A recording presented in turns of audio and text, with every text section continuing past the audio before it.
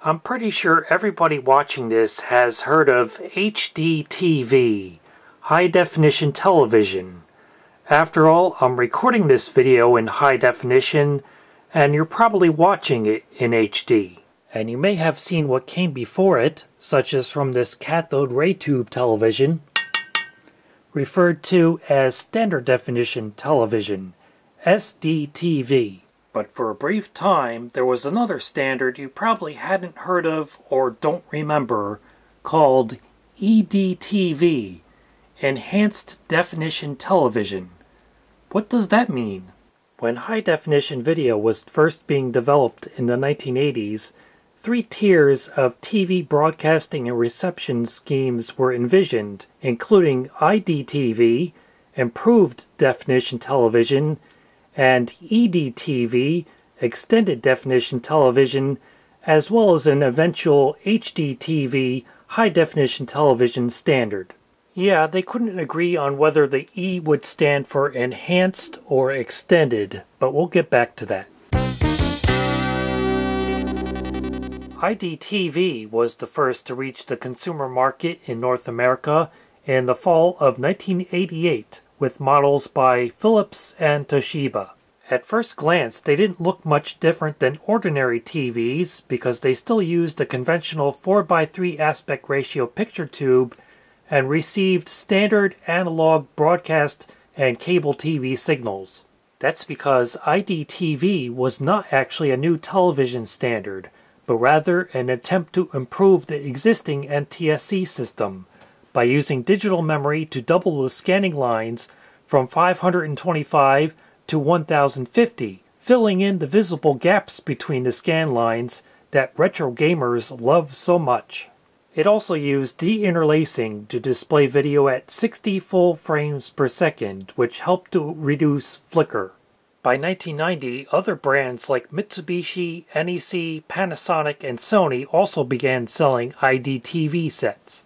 I like the brackets Sony put on this IDTV model so you could still put your VCR on top of it, just like people used to do. But sales of the smaller IDTV models were sluggish, and by 1992 they were discontinued. As Philips admitted, IDTV was meant for big screens. 27 inches didn't make sense because when you sit at a normal viewing distance, you hardly see the difference. But if you were wealthy enough to afford a big screen or projection TV and a Laserdisc player, IDTV was as close as you could get to HDTV in North America at the time. Speaking of which, high definition TV made its debut in Japan in 1991 using the analog Hi-Vision Muse system. The Muse system was tested in North America at the time, but early Hi-Vision sets cost up to $30,000, and it required over three times the amount of bandwidth as a conventional North American TV channel, meaning it could only be transmitted via satellite, not by over-the-air broadcast or cable TV. A modified version of the system, called Narrow Muse, which could fit within a conventional North American TV channel, was developed at the expense of reducing its resolution from 1125 to 750 lines. But Narrow Muse proved to be unsatisfactory, and by 1993 it was abandoned in favor of developing a new digital HDTV standard for North America.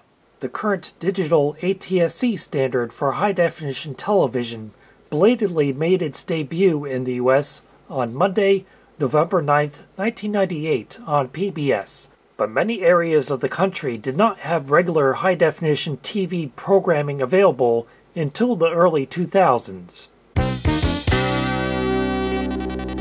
The concurrent arrival of digital TV and HD TV led many people to believe that the two were synonymous, when in fact a lot of digital TV programming was in standard definition and still is today.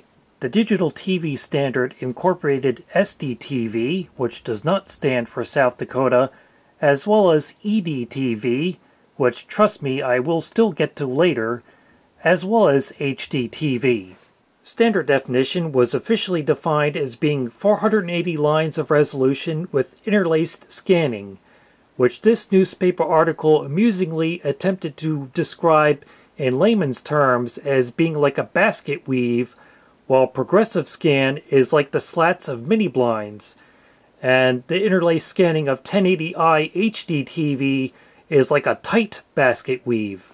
In the mid 2000s, the Federal Communications Commission began requiring all new TVs to include built in digital TV tuners, beginning with screen sizes over 36 inches in 2005, then screen sizes over 25 inches in 2006, and finally all new TVs regardless of screen size in 2007.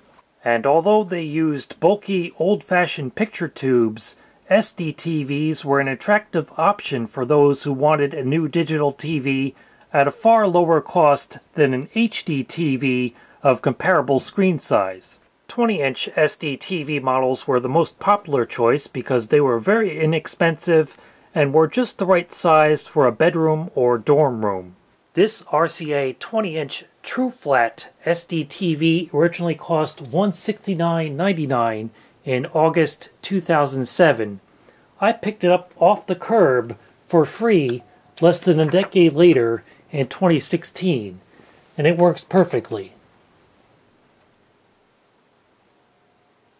Gotta let it warm up, of course. It is sunset on Mount Togakushi.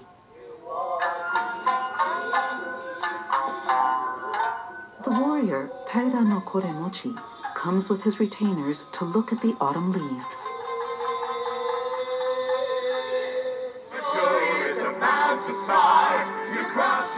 And here it is picking up an HDTV signal.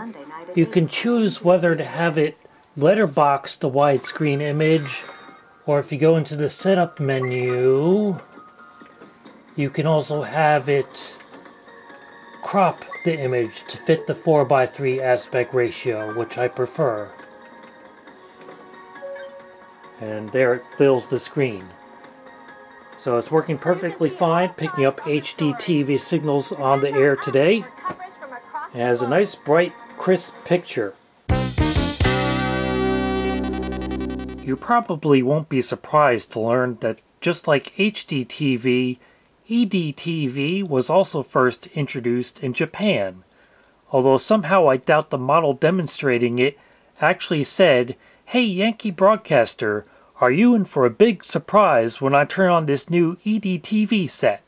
They called it ClearVision, and by 1989 it was already up and running, offering sharper horizontal and vertical resolution and better color than current NTSC broadcasts. PC Magazine columnist John Dvorak raved about it, saying what we see is a grim reminder that the Japanese are embarrassing us at every turn. He said, My favorite example is a technology called EDTV, Enhanced Definition TV. While Americans are still arguing over what to do, the Japanese have already moved ahead.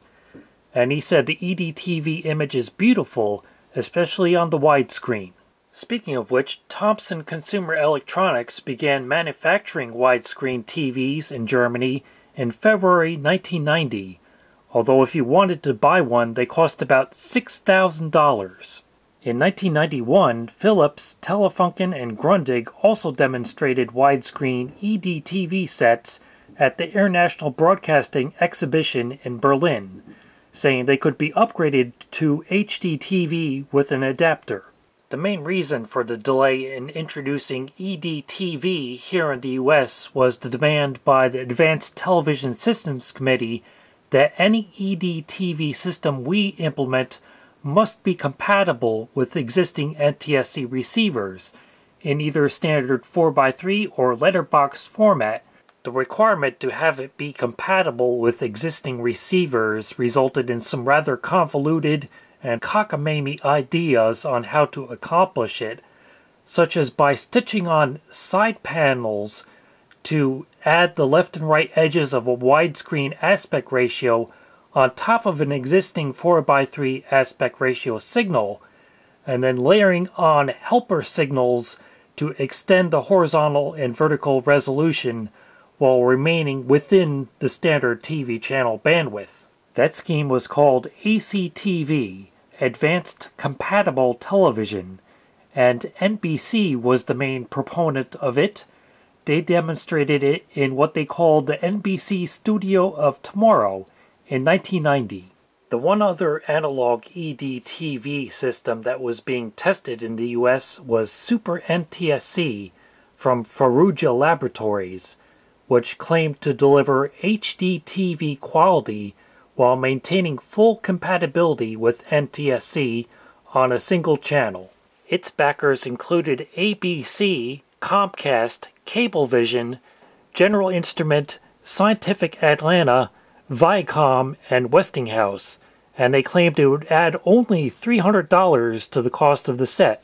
But Super NTSC was really more of an IDTV scheme because it relied upon taking HD video, downscaling it to standard definition for transmission, and then scaling it back up to HD in the receiver. And Super NTSC backed out of the race in September 1990 when Faroudja Laboratories failed to pay an $87,000 fee to have it be officially tested by the FCC. And by early 1992, the aforementioned ACTV system was also dropped in favor of working towards a digital system. With the advent of digital TV in the late 90s, the concept of EDTV was revisited. This time it was defined that whereas standard definition had 480 lines interlaced, enhanced definition had 480 lines progressive. As for what that actually meant in terms of video quality, there were vague descriptions of EDTV having better picture quality than standard definition but not as high as high definition. Yeah, really useful. To the average consumer, the best way to describe it is that EDTV is about the same quality level as DVDs.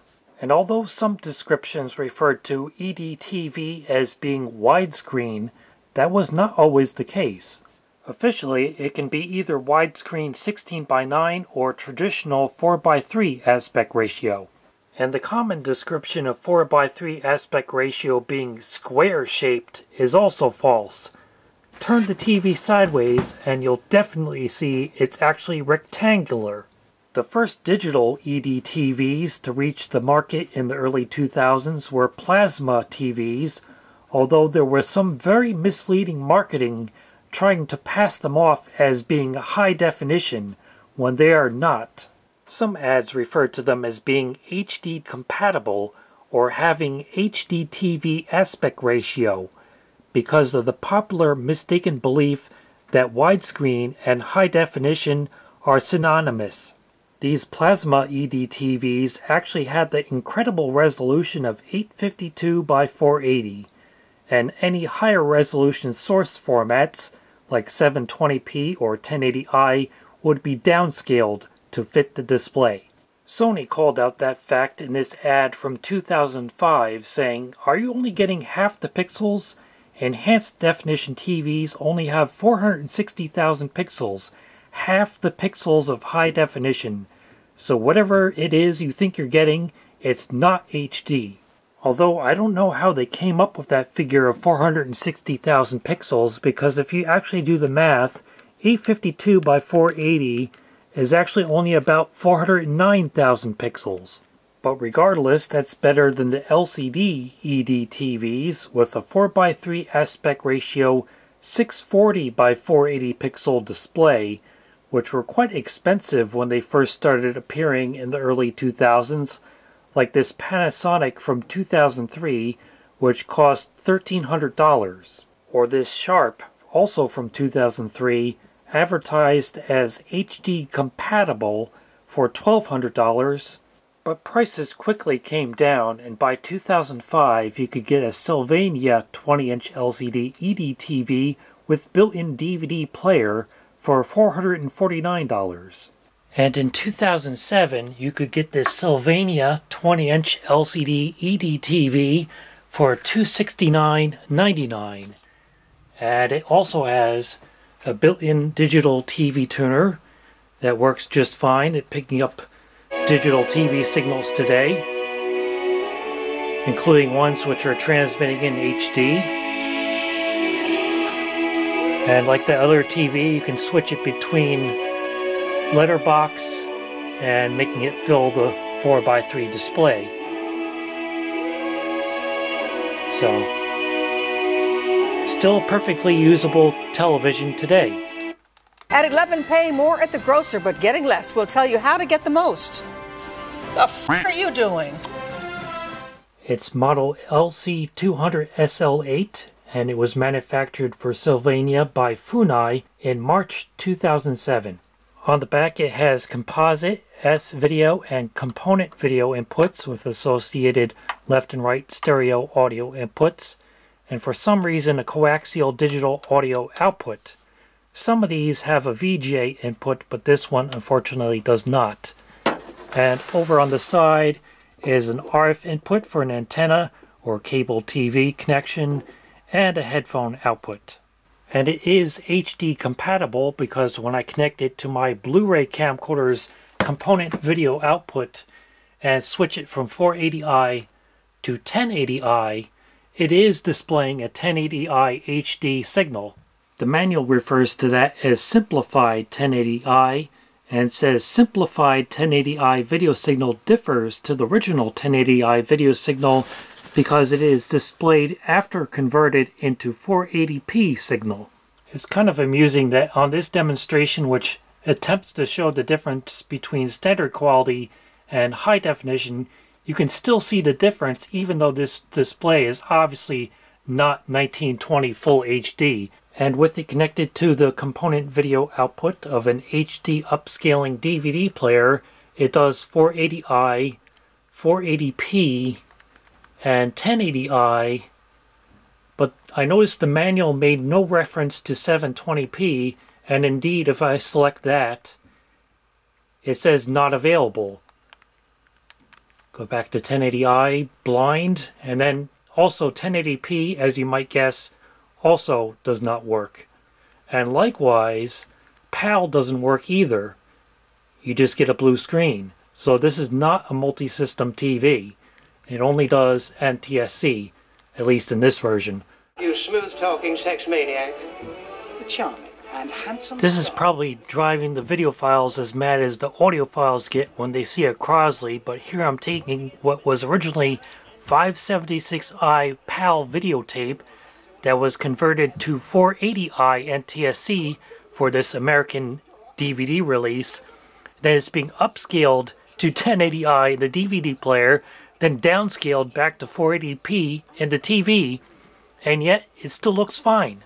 And as for image lag, which is often a concern with LCD TVs, in this case there is very little.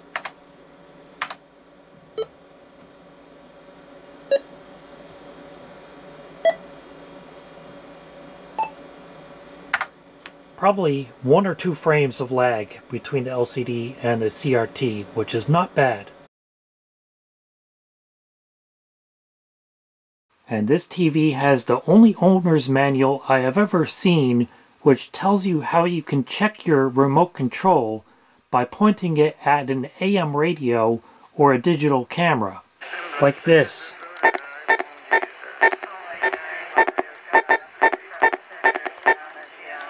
Or like this.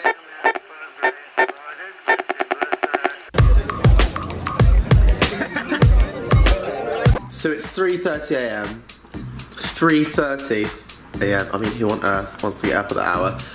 The last time I can find these LCD ED TVs advertised was in 2009, which is also around the same time that CRT TVs disappeared from stores, because by then Blu-ray had decisively won the format war against HD DVD, and people were ready to upgrade and those who couldn't afford to upgrade could get their free DTV converter box and just keep using their old TV.